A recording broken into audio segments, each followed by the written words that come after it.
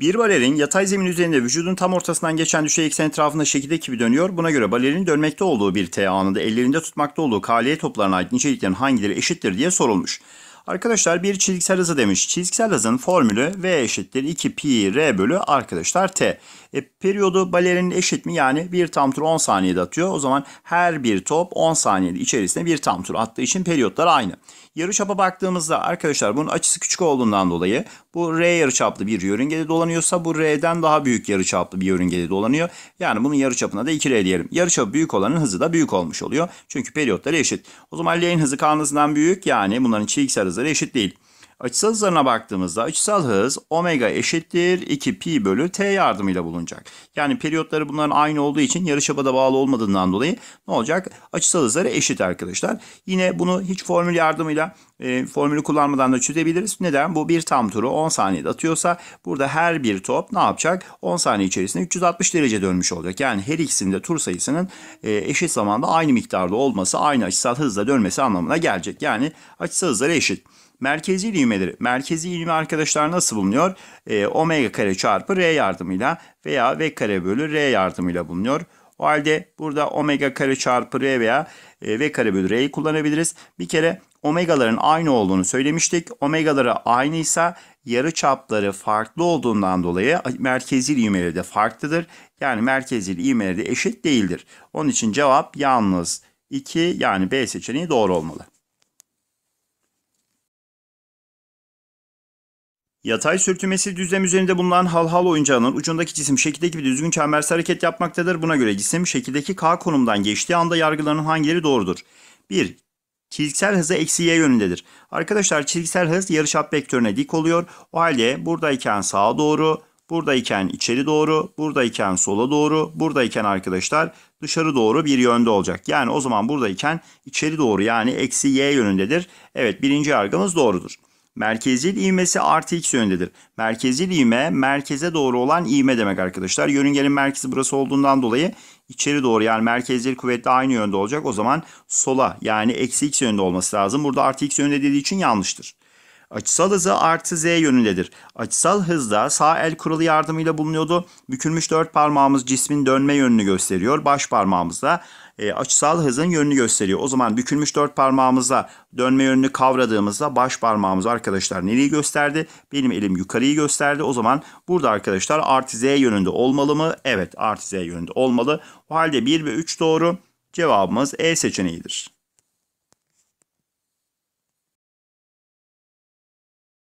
O noktasından geçen eksen etrafında omega açısal hızıyla döndürülen sürtünmesiz tablo üzerinde bulunan 3M ve M kütleli isimler ve eşit uzunluktaki iplerle oluşturulmuş sistem şekildeki gibidir. Buna göre iplerde oluşan gerilme kuvvetlerinin büyükleri oranı nedir diye sorulmuş.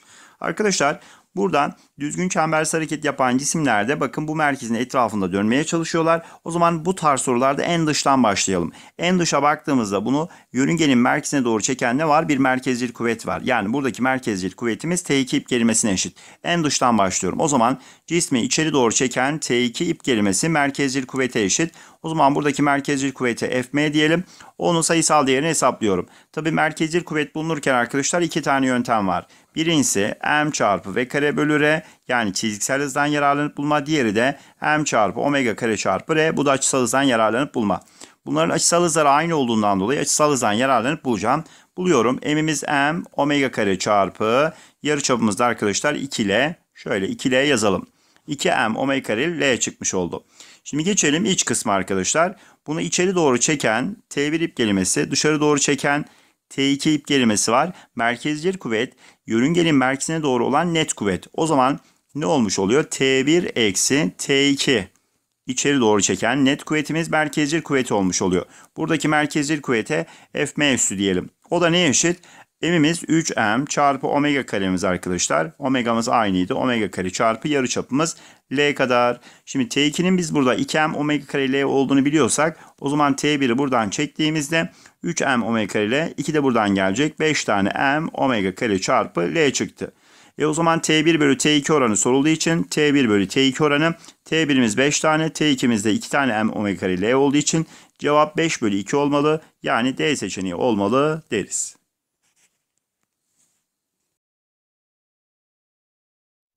Bir akrobasi uçağı gösteri sırasında düşey düzlemde O merkezi dairesel hareket yapmaktadır. Uçak şekildeki konumdan geçerken koltuğun pilota uyguladığı tepki kuvveti F, uçağın merkezciği ivmesi A ve çizgisel hızı V'dir. Buna göre F, A ve V'nin yönü aşağıdakilerden hangisidir diye sorulmuş.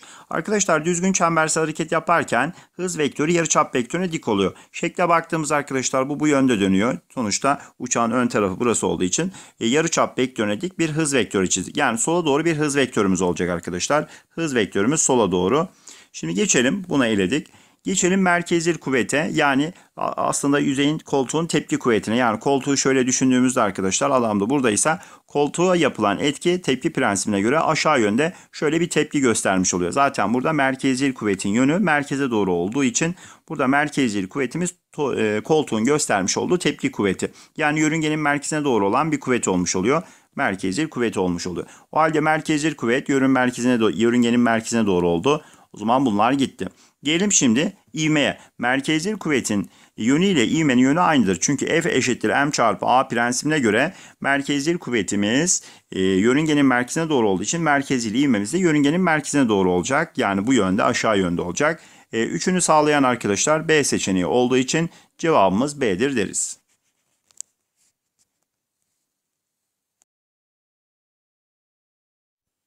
İkili yarıçaplı kasnaklarla R yarıçaplı kasnakların eş merkezi olarak yapıştırmasıyla oluşturulmuş şekildeki sistem döndürülmektedir. Buna göre yargıların hangileri doğrudur şeklinde sorulmuş. Arkadaşlar şimdi bunu bir tur attırdığımızda bu bir tur atarsa eş merkezli olduğu için bu da bir tur atacak. Bu bir tur atınca bu da yine farklı eksenli yarıçapı iki katına çıktığı için tur sayısı yarıya inecek 1 bölü 2 olacak. Yine bu da arkadaşlar eş merkezli olduğu için 1 bölü 2 tur atacak. Şimdi tur sayısı ile açısal doğru orantılı. Çünkü bu bir tam tur attığında 360 derece dönünce bunlar yarım tur attığında 180 derece dönmüş oluyor. Açısal hızları bunların eşit arkadaşlar. Daha doğrusu açısal hızları e, tur sayılarıyla doğru orantılı. O zaman arkadaşlar ben bunun açısal omega dersem bunun açısal omega bunun da açısal hızı yarım tur attığı için omega bölü 2. Bunun da açısal hızı omega bölü 2 olur mu? Olur. Peki çizgisel hızları nasıl buluyorduk? Omega çarpı R yardımıyla yani yarı çaplarla çarpılmış haliyle buluyorduk. O halde L ve N noktalarının çizgisel hızları eşit büyüktedir demiş. L ve N noktalarına bakacağız. L noktasının için konuşuyorum arkadaşlar. VL eşittir. Omega çarpı R. Omegamız arkadaşlar 1 omega. R'miz de 1 R. Şimdi N noktasına bakalım. VN için konuşuyorum. Omegamız omega bölü 2. Yarı çapımız ise 2. Hop buradan ne çıktı? Eşit çıktı. L N'ye eşit mi? Evet doğru. K noktasının açısal hızının büyüklüğü M'ninkinin 2 katıdır. K noktasına bakalım arkadaşlar. Açısal hızı omega. E, M'nin 2 katı mı? M'ye baktığımızda omega bölü 2 olduğundan dolayı evet 2 katı oldu. Bu ifademiz de doğru. L noktasının merkezi ivmesinin büyüklüğü. Merkezi ivme iki farklı yolla bulunuyordu. Ya çizgisel hızdan omega e, v kare bölü r veya açısal hızdan omega kare çarpı r yardımıyla bulunuyordu. Burada istediğimizi kullanabiliriz. Omegalarımızı yazdığımız için omegadan yararlanıp bulmak istiyorum. AL'yi bulalım arkadaşlar. L'nin omegası 1 omega. Omega kare çarpı yarıçapı r kadar. Şimdi ikincisine baktığımızda AN dediğimizde omegası arkadaşlar N'nin omega bölü 2 olduğundan dolayı karesi omega kare bölü 4 oldu. Yarı çapımız ne kadar peki? 2R kadar N noktasının o zaman yarı çapları çarptığımızda burası 1 bölü 2. O zaman ne oldu? 1, 1 bölü 2'nin 2 katı olduğu için burada 4 katı yazdığından dolayı yanlış olur. O halde cevap 1 ve 2 yani B seçeneğidir.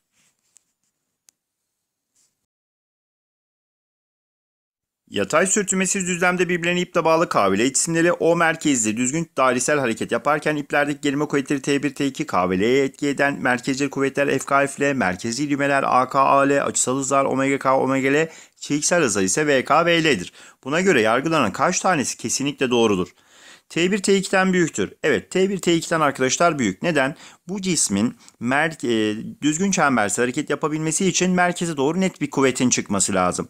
Bunu merkeze doğru çeken T1 mi? Evet. Dışarı doğru çeken T2 mi? Evet. O zaman T1 T2'den büyük olacak ki merkeze doğru olan bir net bir merkezcil kuvvet çıksın. Yani T1 T2'den arkadaşlar büyük olmalı.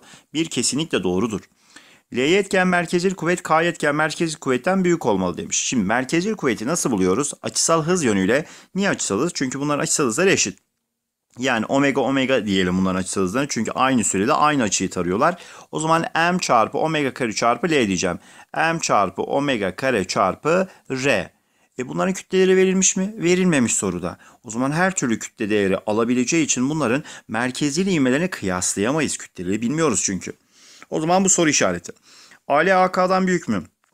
Şimdi bunların açısal hızlarını eşitledik. A'yı nasıl buluyorduk arkadaşlar omega cinsinden? Omega kare çarpı L ile buluyoruz. O zaman burada baktığımızda e, omegaları aynı ama yarıçapı büyük olan kim? L. L'nin yarıçapı büyükse o zaman ivmesi de büyüktür. Yani bu kesinlikle doğrudur.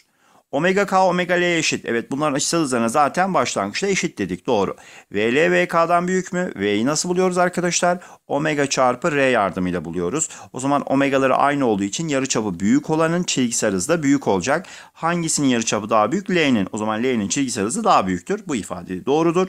Kaç tanesi kesin doğru diye sorduğu için cevabımız D seçeneği olmalı.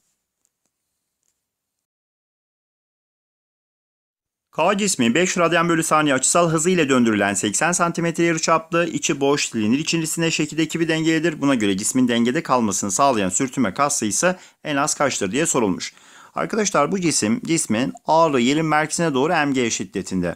O halde ağırlığı yerin merkezine doğru mg şiddetine çizdim. Sonra burada sürtünmeden dolayı yukarı yönde bir kuvvet oluşacak ki bu cismin ağırlığını dengelesin. O zaman sürtünme kuvveti arkadaşlar cismin ağırlığına eşit olacak diyorum. Peki sürtünme kuvveti nasıl buluyoruz? K çarpı N yardımıyla buluyoruz. O zaman K çarpı N eşittir cismin ağırlığı diyeceğim.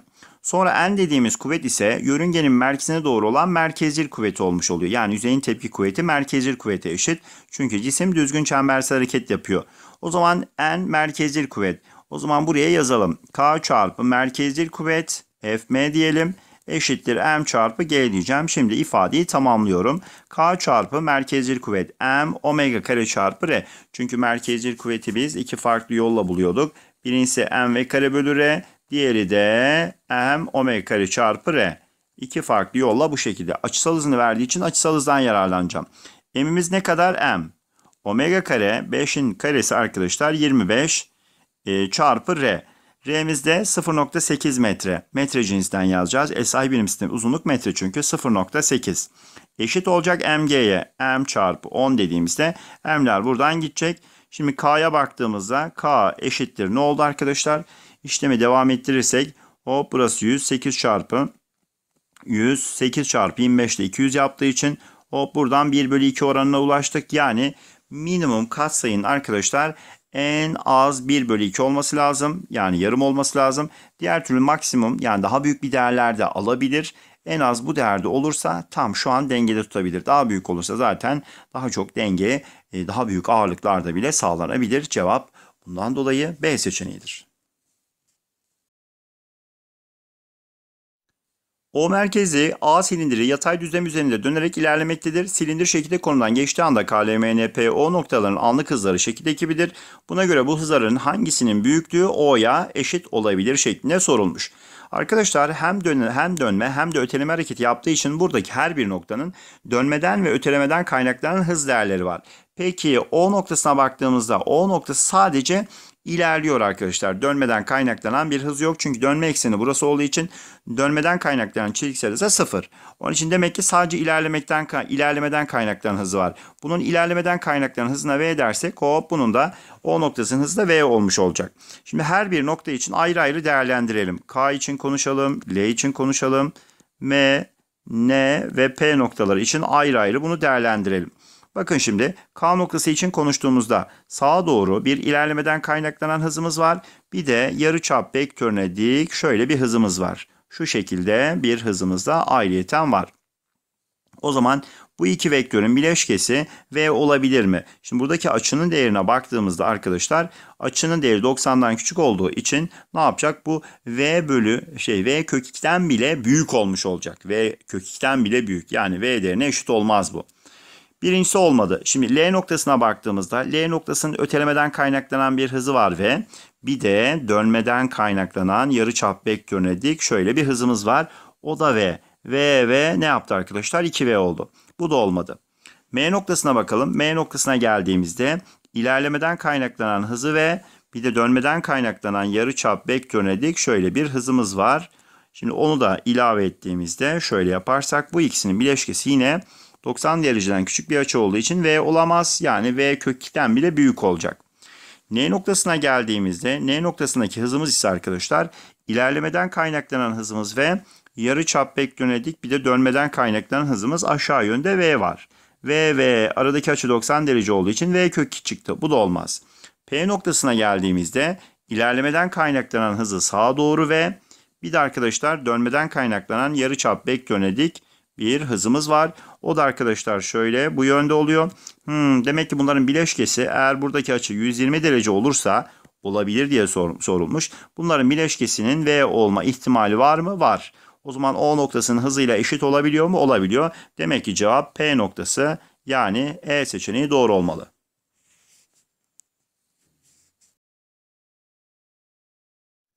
İngiltere'de 1872 yılında üretilen ve penny çeyrek olarak adlandırılan bisikletin ön tekerlekleri çok büyük, arka tekerleği ise küçüktür.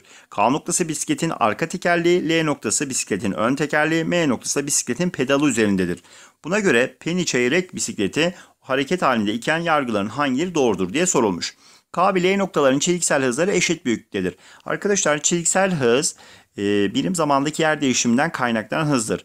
Ön teker 100 metre gittiğinde arkadaşlar arka teker de 100 metre gider ve buradaki bir nokta 100 metrelik e, yol aldığı için aynı şekilde K noktasına 100 metrelik yol aldığından dolayı bunların çizgisel hızları eşit büyüklüktedir.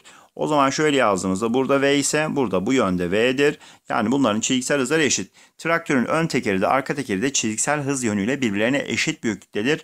Bu birinci ifademiz doğrudur. K ve L noktaların açısal hızları eşittir.